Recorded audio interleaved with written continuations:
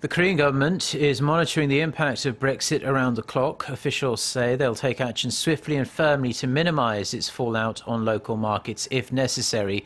Meeting in Seoul Saturday, officials from the finance and industry ministries, as well as the central bank, said big uncertainties surround Britain's exit from the EU and the consequences are impossible to predict.